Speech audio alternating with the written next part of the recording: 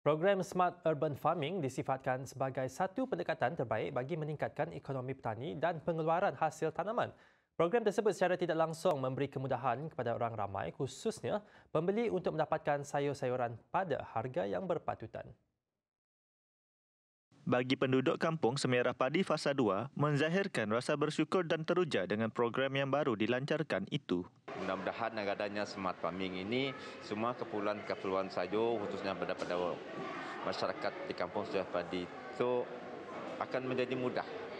Dan akan kita dapat mencari satu daripadanya sumber pendapatan uh, untuk membeli uh, bahan sayur dengan harga yang lebih murah daripada apa yang ada di pasaran. insya-Allah.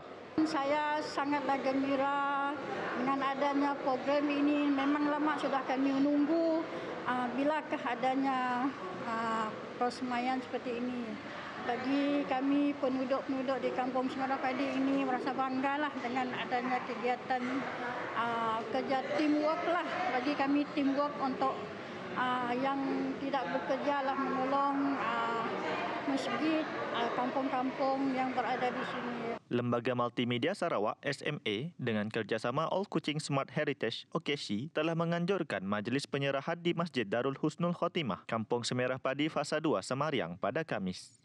Sementara itu, menurut Menteri Muda di Jabatan Ketua Menteri, Undang-Undang Hubungan Kerajaan Negeri Persekutuan dan Pemantauan Projek, Datuk Syarifah Hasidah Said Aman Ghazali, masjid tersebut termasuk dalam fasa yang pertama untuk menerima sumbangan bagi program Smart Urban Farming. Dan Sentex, eh, uh, mereka membawa program untuk ke surau, uh, projek community di mana uh, mereka menanam uh, hidroponik. Memberi sebanyak berapa set? Uh, they spending around 900 pot of hydroponic to the community around this uh, surau.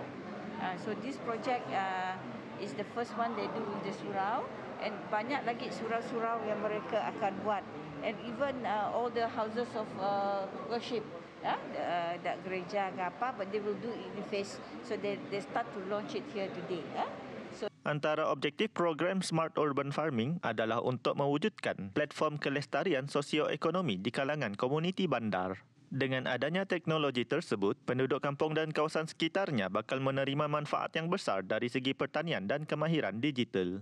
Melalui pertambahan jumlah pusat pertanian kebun bandar pintar seperti yang dirancang, pihak komuniti boleh mengambil peluang untuk berkongsi ilmu pengetahuan serta pengalaman di dalam meningkatkan sumber hasil tanaman.